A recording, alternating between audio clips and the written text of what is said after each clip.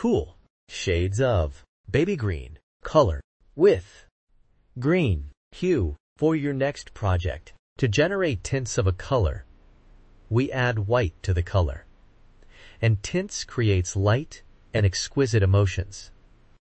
To generate shades of a color, we add black to the color, and it is used in patterns. 3D effects, layers and shades create depth and drama.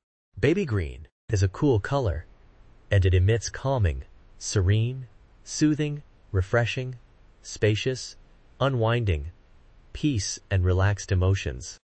Cool colors are like water. Ice, sky, grass, soft and snow. You can see them used in baby products,